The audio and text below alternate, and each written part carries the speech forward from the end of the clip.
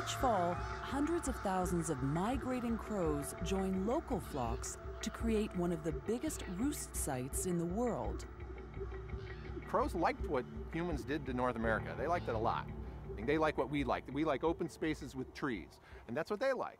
So we cut down all the forests in the east, made them opened up, still a few trees for, for nesting and all that. They like that. And now they're everywhere. Crows are always watching, learning, and remembering. They're especially attentive on garbage day. Crows memorize the garbage truck routes, learning when the best time is to scavenge some succulent treats. So we're omnivores and we're social. And crows are omnivores. And sometimes we don't like the animals that have the same qualities as us. We don't like crows because crows are opportunistic. And Oh, so are humans, though. Crows are invasive. Crows will um, do all sorts of things that humans do that we are not particularly proud of doing, like feeding on garbage. That long cultural interaction we've had with crows in a negative way has seeped into our modern culture. Whenever something bad is going to happen on a movie, you hear a crow call in the distance. The mayor of Chatham tried to rid the city of their crow infestation by introducing a shooting competition. But as soon as one crow was shot, the word went out, and they all learned just how high to fly to stay out of the range of the pellets. That's when the city turned to Ulrich Waterman and his hawk Harriet to try to drive the crows out of town.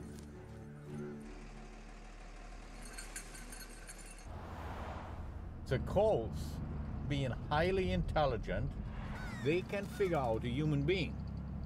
They can figure out a raptor. But that the two work together, that's too much for them. They cannot comprehend that their two worst enemies are working together. That, that freaks them out. Oh yeah, she wants to go.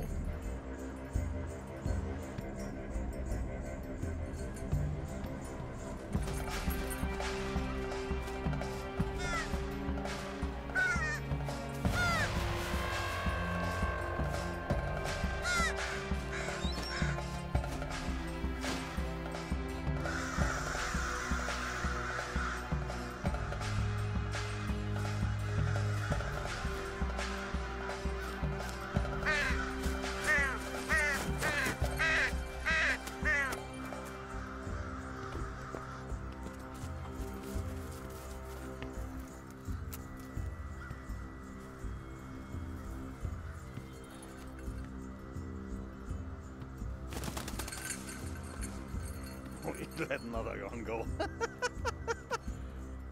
uh, the reason that I let that crow go is she was not much harmed and is in, in good shape to join her uh, friends there. And she will tell the story of what just happened to her. See them all, they all coming up now and she is joining them now and uh, telling them the horrible story. Crows learn from each other's misfortunes. When one is killed in a farmer's field, it's not uncommon for them to change entire migratory patterns so that no crows fly over that field for as long as two years. There's no doubt about it. Crows talk.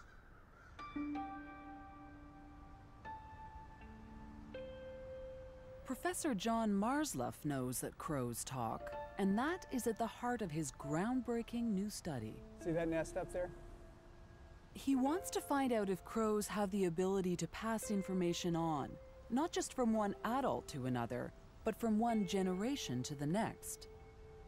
To study this, he's going to follow several crows from hatching through their first year to see how they learn. It won't be easy, less than 50% of crows survive their first year. Right now, all we know is that there's eggs up there. And it's really a gamble whether those eggs are going to turn into young birds that we are then able to follow when they leave the nest and encounter new things in their environment. Before the eggs were laid, Marzluff and his team caught and banded adult crows in five different test locations around Seattle. They wore a different mask at each location. Now, a handful of crows at each of those test sites, including our crow parents, has learned that one specific mask means danger. What Marzluff wants to find out is whether the parents will pass on their knowledge of the dangerous face to their young. And will the young not just learn to recognize this face, but remember and use this information months from now when their parents aren't around? Surprisingly, this kind of learning in the wild has only been proven with primates. We're trying to see the fledglings in this nest. When the team stands in the park without their masks on, the crow's response appears to be quite normal. So those are just regular caws uh, communicating certainly some excitement, but not a scolding vocalization. Now, as part of the experiment, he puts on the mask, and it's a whole different story.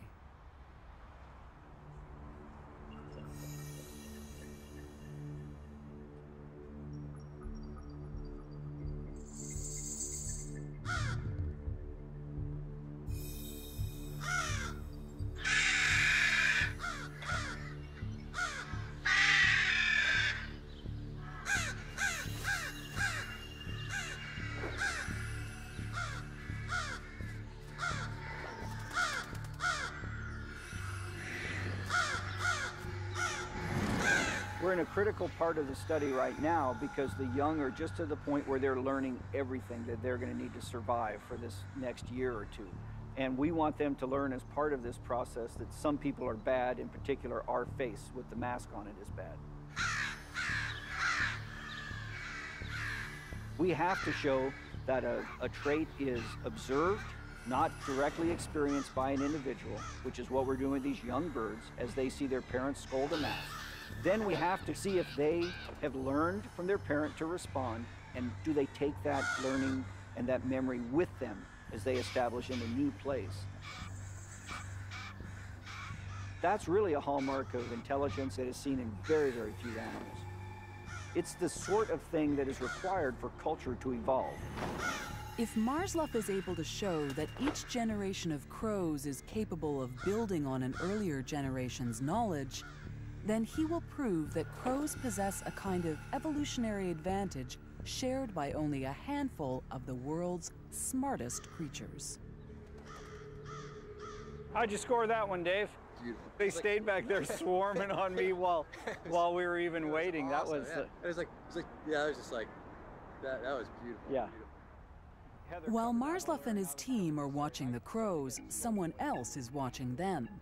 The U.S. Department of Defense is funding their study because they think the crow's ability to recognize faces and point out the bad guys might have applications beyond the bird world. For millennia, humans have looked upon crows as highly intelligent creatures, the wise guy, the trickster.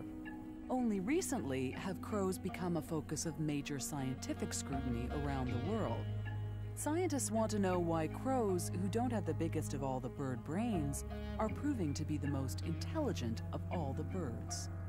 Crows do not have the biggest brains of all birds, parrots do, but it's crows that are by far the top among birds. Whether it's the American crow, the European species, the North American species, every continent of the world has its crow, its member of the genus Corvus, that's at the top of the rankings for that particular area of the world.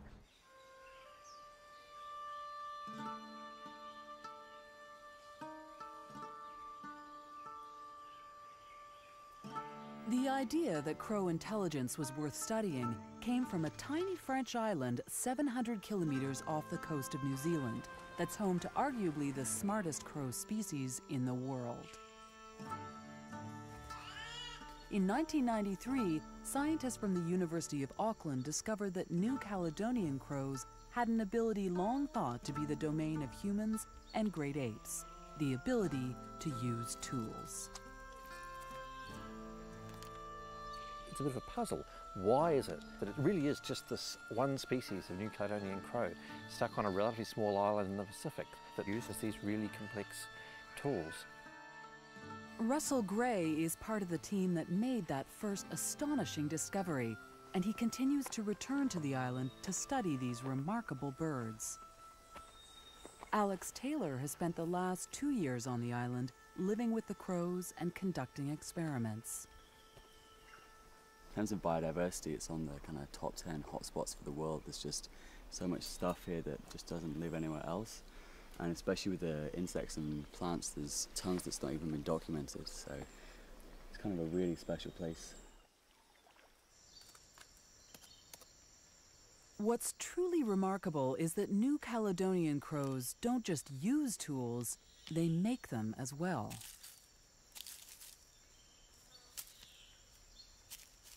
It was really amazing to see that they'd go through this long, complex sequences of actions. It wasn't just like one step, like rip off a stick, and it wasn't even two steps. It was breaking off at a difficult place the branch below a fork, trimming off the side branches, and then crafting away at, at, at the base of the fork to get a really functional uh, hook tool.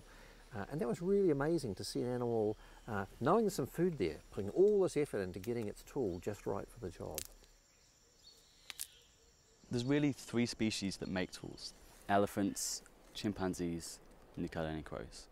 So just three out of like, you know, six million or whatever that's on the planet. People went wild when Jane Goodall found that chimps could actually use tools at all. And the chimpanzees have never been found to use hooks in any kind of way. So to find um, a crow species that's doing using tool use in a, and making tools in a much more sophisticated way than the chimps, really I think uh, it hit everyone's radars. Sometimes you see really complex things, but there's some simple trick to it, some lower level behaviour that underlies it. Well, any behaviour you see like that in the wild makes you think. It makes you think, I really need to do an experiment. First we put the uh, meat into the hole, and we put the long stick in the toolbox, right at the back, out of reach of the crow. And we put a short tool uh, in front of the box,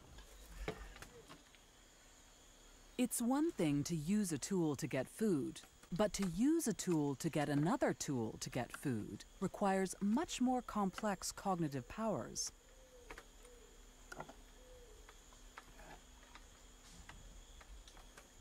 This meta tool use, as it's called, is considered to be crucial in the evolution of humans. Well, the thing that sparked technical evolution in humans was when we started using uh, rocks not to crack nuts or bones or other bits of food, but um, use them to crack other rocks. So it's really interesting to find that a crow species can actually do this mental use cool. because then we start having some kind of idea of the kind of cognitive abilities that um, you know our early ancestors uh, might have had. Just how smart are these crows? In an experiment that has never been tried before, this crow will be challenged to push its abilities to the next level. And we're looking to see if the crow can act out a three-step plan, like think like three chess moves into the future, and pull up the string to get the short tool, take the short tool to get the long tool, and then take the long tool to get the food. Oh, this should be really, I'm really fascinated by this. Um, I really, uh, um, I really want to see if they're able to do it because um, I hope they can, but um, they may just, it may just be uh, too, be like too long a distance between their first action with the string and the time they're getting the food, so they're going to kind of forget what they're doing once they're up and uh, string pulling. So yeah, I'm really curious to see how this is going to go. This is the first time this experiment has ever been attempted, and our cameras are there to record what happens.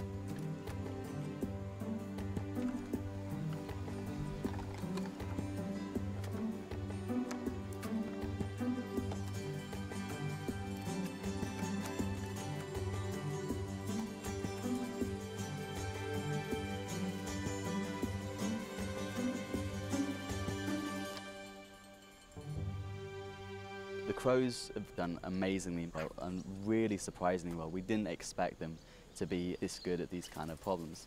They've performed at the highest levels with tasks requiring technical intelligence out of pretty much any animal on the planet. Crows are very intelligent for animals. Their brain size relative to their body size is of the same caliber as many primates. So it really is appropriate to think of these animals as feathered apes.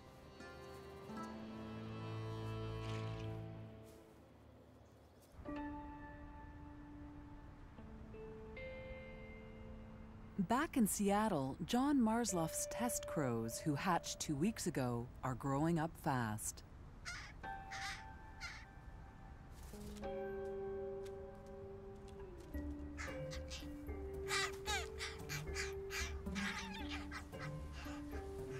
Marzluff checks the nests daily. One nest catches his eye because it's home to a baby crow unlike all the other nestlings. With a distinct band of white on her wings, she's immediately given the name White Wing. Their ever attentive parents are kept busy feeding them. But they're not the only ones. Some pairs of crows have what we call helpers at the nest. Those might be a young male or perhaps a female that, re that remains in the natal territory for a year or two, and they help their, their siblings. Having so many family members providing food and protection allows the baby birds to concentrate on growing and learning. And this, scientists believe, leads to an acceleration in brain development. Crows have very interesting social systems, and it's actually probably more like Western human civilization than any other animal on the planet. Right? There are no primates that have what we have in Western civilization, which is essentially a mated pair, right? Monogamous male and female, more or less, um, with their kids, offspring from a bunch of years, and in extended families where you know your relatives and all that. The basic social unit is the family. The whole family spends hours standing guard in nearby trees and keeping an eye out for predators who might want to harm their defenseless young.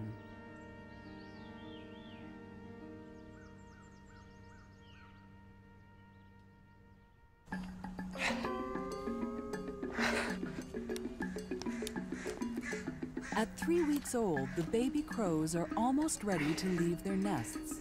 Kind of a tight spot here. Now it's the time in the experiment to put leg bands and radio tags on them. The team is ready on the ground to catch any crows who might decide to make a break for it. All right, Dave, get ready. Get ready, Heather. There he goes, Dave, right at you. We got him.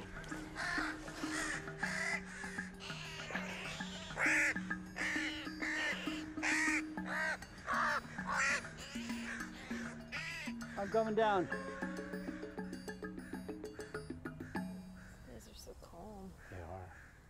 Probably the best way to understand the development of intelligence is to follow a young bird as it's gathering its intelligence.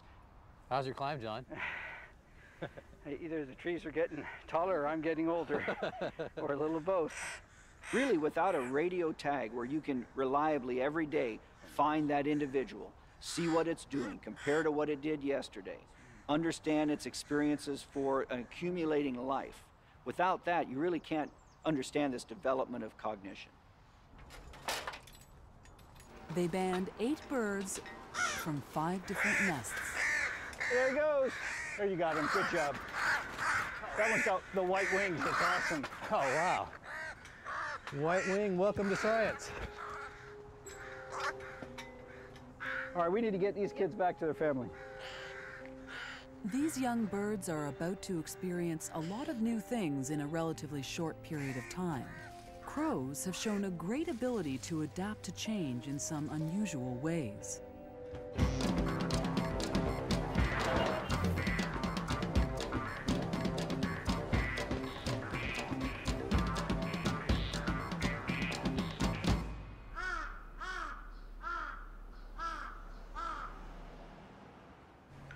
Tokyo has grown into the world's largest city, humans and crows are thrust closer and closer together. It's not been an easy accommodation for humans. Crows and humans are at war with one another. The crows' resourcefulness comes from their intelligence. Their adaptability is their strength.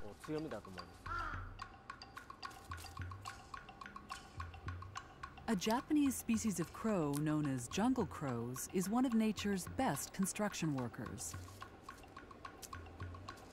Inventive scavengers, these jungle crows are constantly on the lookout for new building materials for their nests.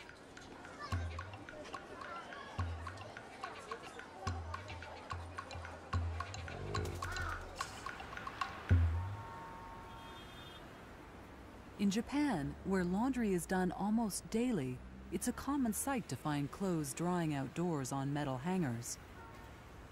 For crows, this is an opportunity far too tempting to pass up.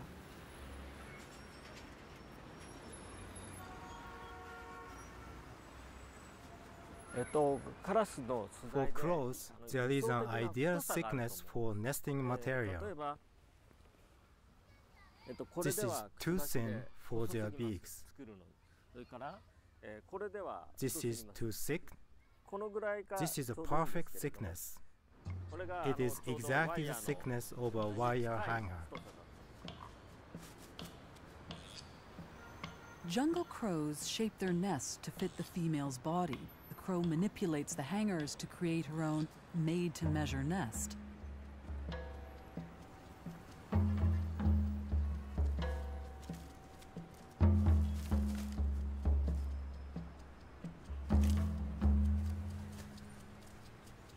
Using hangers as nesting material might be a clever adaptation to life in an urban jungle, but when the crows opt to locate their nests in some place other than a tree, it can lead to shocking consequences.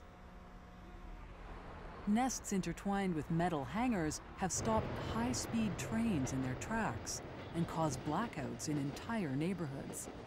So the Japanese have come up with their own clever response.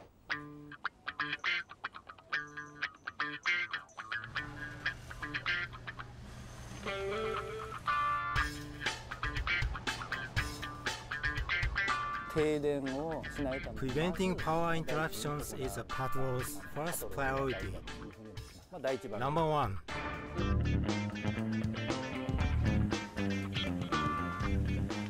The Crow Patrol of the Kyushu Electric Power Company fans out with a single mission to find and destroy the homes of destructive squatters.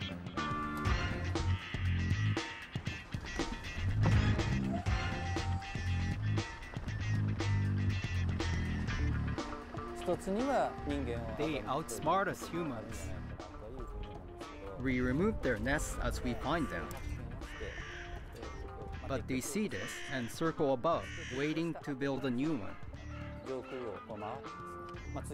It's tough to outwit crows.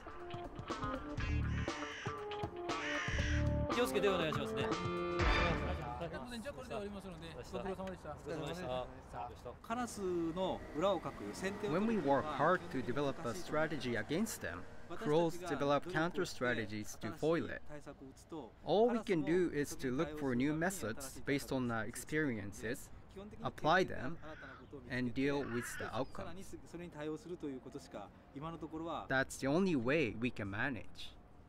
I think the crows are as smart as we are, so we feel challenged.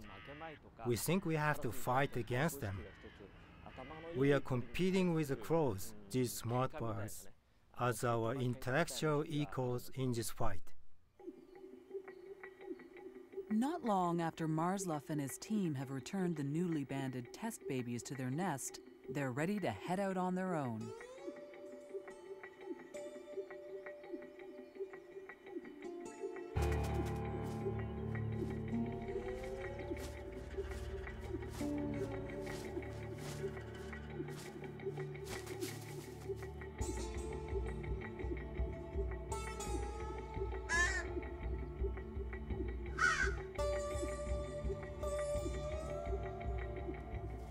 Young crows don't leave the nest because they know how to fly.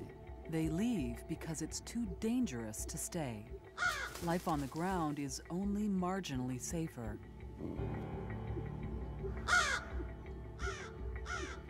The most important lesson a young crow learns is when to move and when to stay still.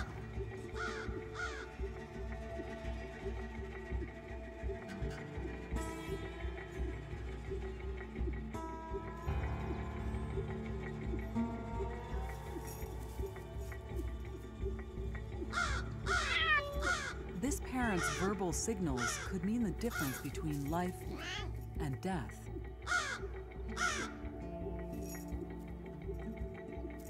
Crows have different warning calls.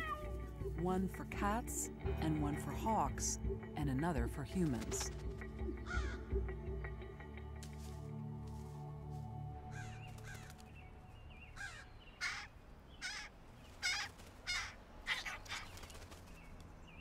Scientists have identified over 250 distinct crow calls.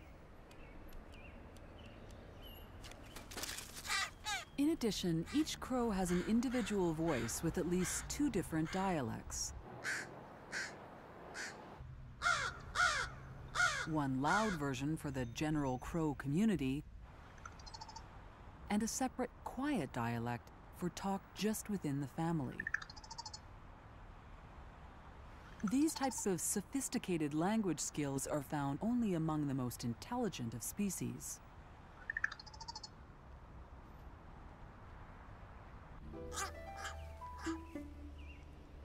Whitewing and her brother have managed to survive their first month.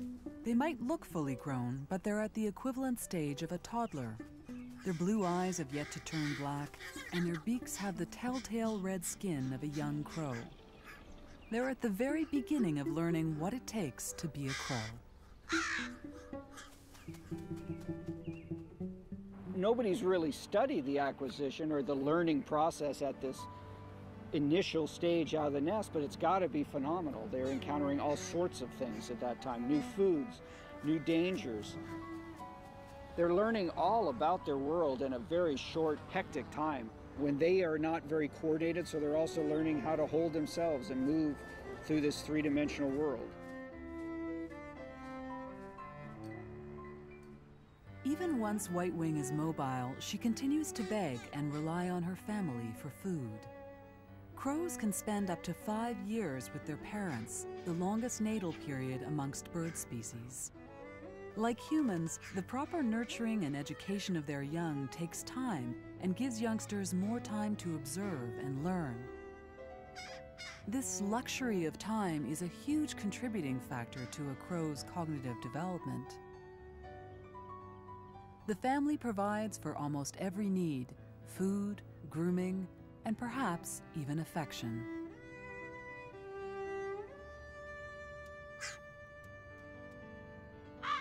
By the time Whitewing is three months old, she's starting to really test her wings.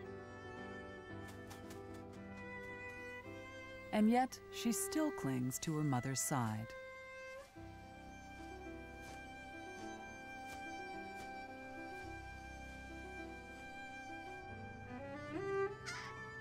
Crows seem to need to be close to each other, especially their parents.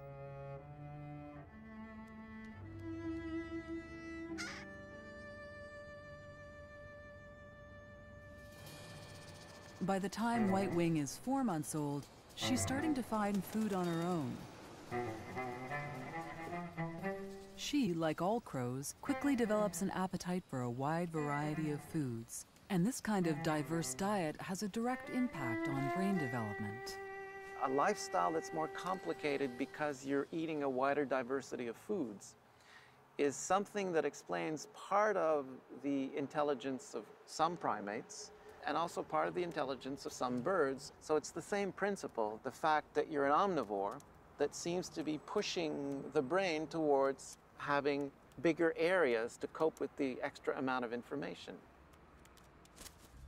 If an animal only eats fruit, then it only has to learn about one food group. Crows eat fruits, vegetables, and meat, so they have to be able to identify and learn how to work with all these foods. Walnuts, for example, are a bit of a challenge, but crows have figured out not just how to get the husk off them, they've mastered the art of how to crack a tough nut.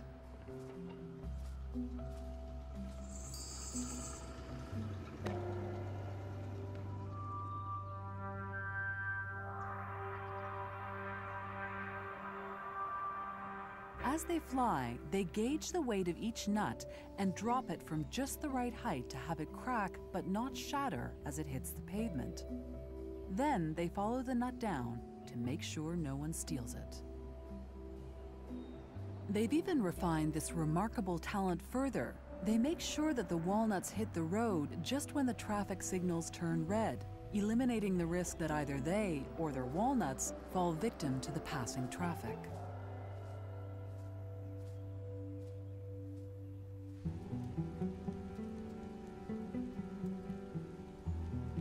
White Wing is starting to master some of the skills of being an omnivore. Clearly, it's a big learning curve.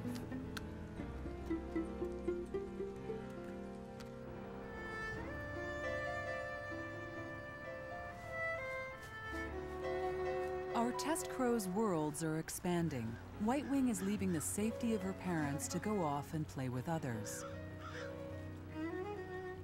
Like a teenager, she's eager to seek adventure with friends, but reassured that come evening she can return to the safety of family.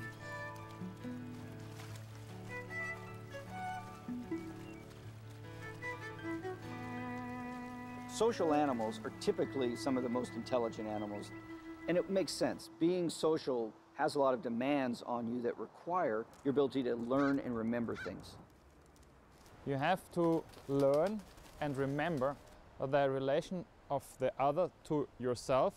Plus, uh, it would be very good if you also learn and remember or even infer the relations among others that exist among others. So the more the group is structured by different types of relationship, the more brain power you need to calculate all those different type of interactions.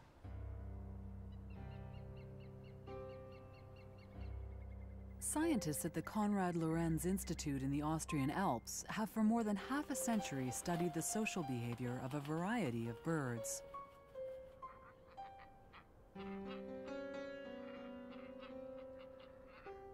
Now they're turning their attention to crows.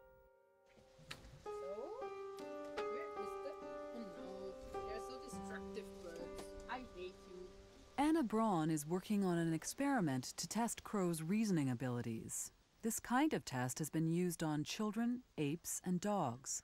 These are the first trials to be conducted on crows. This is a touchscreen which we are just starting to work with the carrion crows. And here you see a two-choice procedure in which the birds get the option between two different icons. One is positively rewarded and one negatively rewarded. The wash bucket they learn through experience. They just peg on it. On one they get food, and on the other they don't. They get a red screen. So this is the right one in this case. Uh, no, that's the wrong one. and then a picture combination appears on the screen with an image the crow has never seen before. It now has to infer which image will bring the reward. When this task was presented to children, they mastered it after just a few tries. Dogs took as many as 70 attempts to solve the puzzle. Crows surprisingly figured out this experiment almost as quickly as children. But they already come very far, and that's the, that's the big surprise for all of us. They come from a behavioral point in, the, in the cognitive tasks, they come on the level that is reached by some ape species, and which is quite surprising. Thomas Bugnyar has previously worked with apes his current interest in crows is focused on something psychologists call theory of mind, a creature's ability to recognize that other creatures might have differing ideas from their own. Theory of mind is a huge step of not only thinking about you, your, yourself, what you yourself know, what you yourself feel, what you yourself experience, but also just to extrapolate and think about others as being their own creatures with their own kind of mental life. Crows clearly demonstrate this kind of agile thinking when it comes to storing their food. First, they hide it. Scientists call this food caching. When they cache, they're on the lookout for any clues that another crow might be spying on them. Over there, this individual over there, he just did a food cache very close to the others. But then he recovered it again and moved up the hill and now he's caching again. He left the cache site and now he's sitting over there as private as he could be, watching, paying attention what's going to happen with the bird who approached. If they suspect they've been seen, crows will move their cache, defend it, or they may even fake cache, keep food in their pouch and only pretend to bury it. These are all highly complex cognitive behaviors. So a kind of cognitive arms race is starting between those that try to prevent pilfering and prevent the others from watching and those that have to watch for pilfering. And we are talking now not only about behaviors, but we are talking also about the mental state. At five months, White Wing is reaching the end of her adolescence. She appears to have an understanding of caching, and she's venturing further and further from home and testing her wings. One behavior that intelligent animals appear to all share is play. Play allows the mind to learn unexpected things, and young crows love to play. These flights of fancy are more than just fun seeking, though. White Wing and her pals are building up strength with these cannonball rolls, and these loop de loops are the perfect way to evade a hawk in hot pursuit. They also provide a pretty good way to impress a mate. Attracting a mate is perhaps the most important event in White Wing's life because crows mate for life, a life that might last as long as 20 years. It looks as though White Wing has found herself a promising candidate.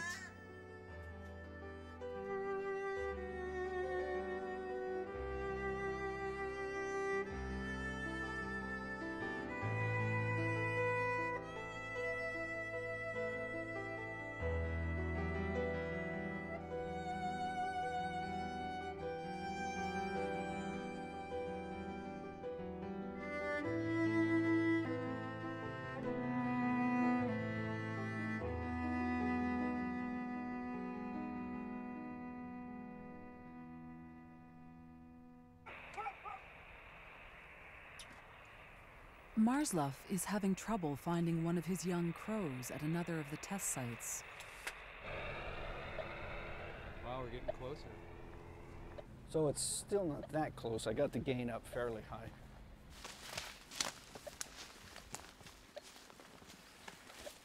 Yeah, this doesn't look good to me. Uh-oh.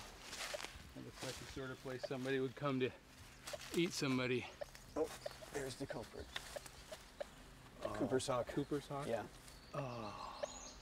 Laughing, there's there it is, nest. right there. Yes, There's a there's nest the right there. nest. Look at 'em. Yeah, they could be eating that crow right now. Hope it chokes on it. With this young test crow dead, only three crows remain in the study.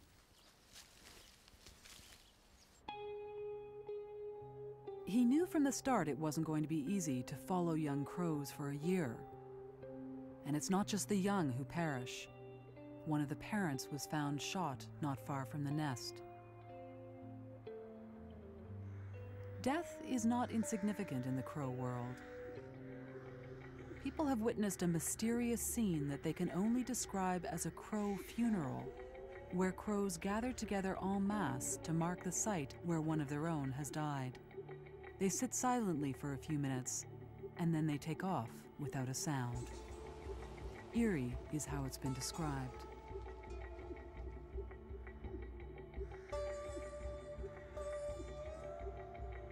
Animals seem to feel pain. Uh, social animals seem to feel social pain. They seem to grieve for a while when, their when their partners die. Um, and that's not surprising. You know, that's evolutionary, the same tools, same evolutionary tools working for people as it is for animals. Few crows make it out of adolescence, and unfortunately, that was the case for White Wing. When she was six months old, she was hit by a car not far from home.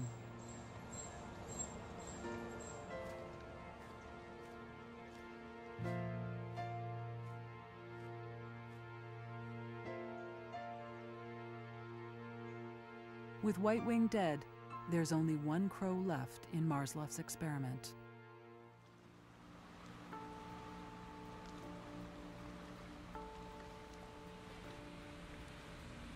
The success or failure of the experiment now hinges on a single crow. But first, he has to find his subject, who's disappeared somewhere in Seattle's urban jungle. This bird is extremely difficult to find. It's in an area that has lots of places it can hide from a ground walking person. If we could fly, it'd be a lot easier here. But this bird is all over the place. It's expanding its range. Could be anywhere in here. And it moves very quickly out of our sight and out of our telemetry range. Yeah, it's needle and haystack. We have a little better um, line on the bird because we have a radio on it, but it's it's an awful lot of luck. We had a signal coming up this way. You know, I don't know. It could be anywhere in here. I got nothing here. Let's try it this way. You guys hear birds at all? Nope. I hear them in my dreams now.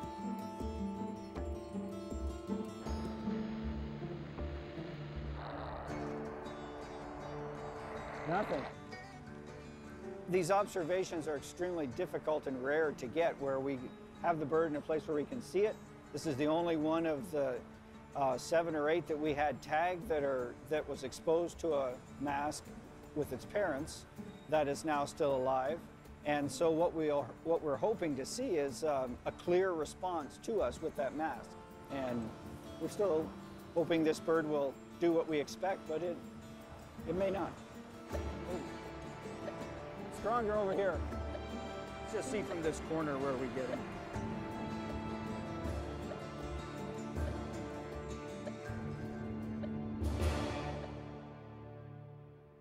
That's that's exciting.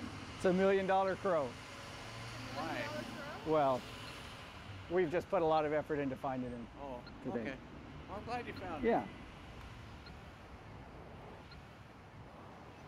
Looks great. The antenna looks good. Well, there he just flew now. He's perched right there. I think if we walked from here, it'd be pretty good. The final stage of Marzluff's experiment begins. As he walks back and forth within sight of the last crow, the subject's reaction is one of benign indifference. I'll go back by with the mask on and see if we can see any difference.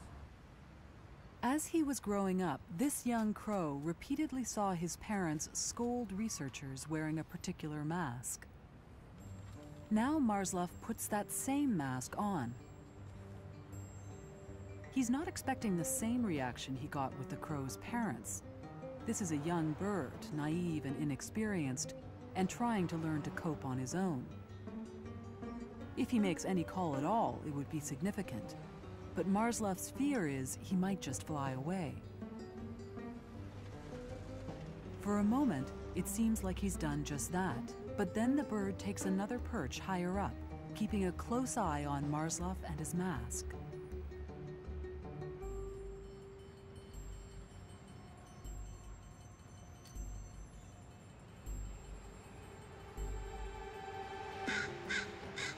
And then, there it is. To many, just the tentative scold of one young crow. But to John Marzluff, it's a major milestone. That was pretty exciting. Well, you'll never get a better exposure than that, I don't think. That's, that was clean. To me, what it indicates is that that bird clearly recognized this face, which the only way it could have learned about this face as being anything unique was from its parents' behavior. So I think that shows the first step of social learning. There he's really looking down at me. Yeah. There he's scolding. This is the first scientific evidence that crows are able to learn, remember, and put to use information gained months earlier from their parents. This is a huge evolutionary advantage that until now has only been proven in a rarefied group of the smartest creatures on Earth.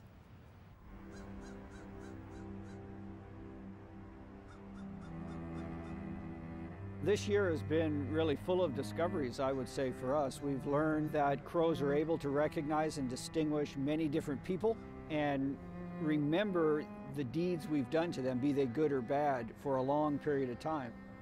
And now we're learning something about how they share information with their young, which has been something that we really haven't understood at all.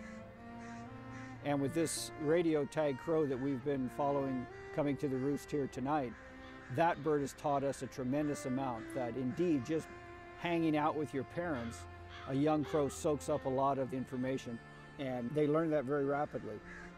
I feel great that this bird has survived long enough to join the full community of crows.